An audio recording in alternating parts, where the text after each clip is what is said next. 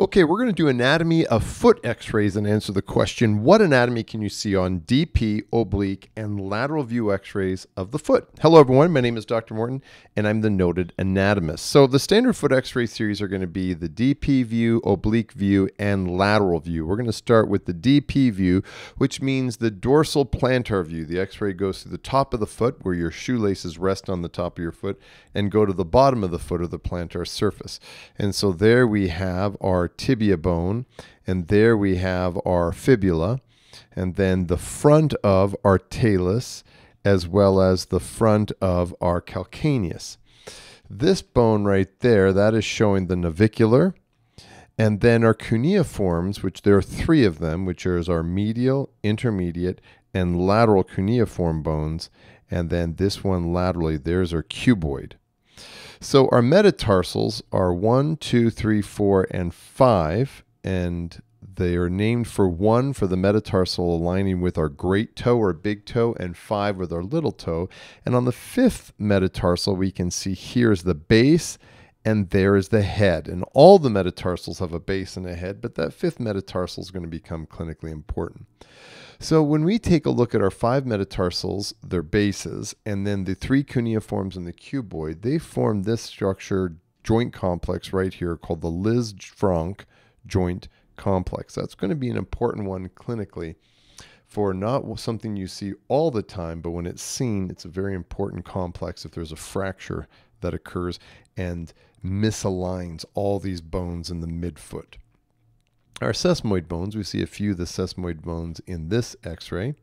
Next, we have our phalanges, and phalanges your toes, and there's digit 1, 2, 3, 4, and 5, and digit 1 is your great toe, and digit 5 is your little toe, um, and we, we, we all the way home. And so here we have in our phalanges, there's always a proximal and a distal phalange in the great toe, but there is a proximal, middle, and distal phalange in all the lesser toes. So that structure right there, or pardon me, better yet say that joint right there is our metatarsal phalangeal joint, which is the joints between the metatarsals and the proximal phalanx. And then here we have is an interphalangeal joint in the great toe, and in the lesser toes, we have a proximal interphalangeal joint and a distal interphalangeal joint. So let's do the foot from an oblique view, which means the foot is then just kind of rotated 30 to 40 degrees, and then the x-ray goes through the dorsal to the plantar surface where the plate is sitting. And there we have is our tibia, and there we have is our fibula. And then this view shows really nicely the calcaneus, and then there is our talus, and there is the navicular, and then there is the cuboid with our medial, intermediate, and lateral cuneiform bones. Our metatarsals 1, 2, 3, 4, 5 are shown there, and our phalanges 1 through 5 is also shown there, with our metatarsal phalangeal joints and our interphalangeal joint in the great toe, and in our lesser toes there's a proximal and distal. And now let's do a lateral view. So this is done from, uh, this is done perpendicular to the um, dorsal plantar view. And there we can see is our tibia. And there, that ghosted outline, that's our fibula. And then right there is that dome shape is part of the talus. And then right in between, there is our tibio-talar joint. And then right here, we can see a nice view of our calcaneus.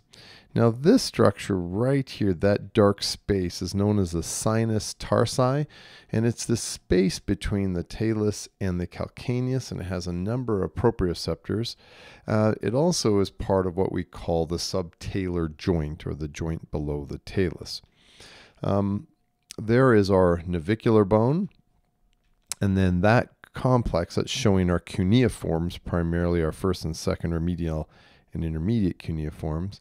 And then there is showing the cuboid. And then this view is showing the metatarsals, and you can see the fifth metatarsal quite prominently there. And then there is showing our phalanges. That structure that you see in a good lateral view, that's our longitudinal arch of the foot. That in a weight bearing, you're going to see flattened quite a bit. This is a non weight bearing x ray. And that, my friends, is the anatomy of foot x rays in a nutshell.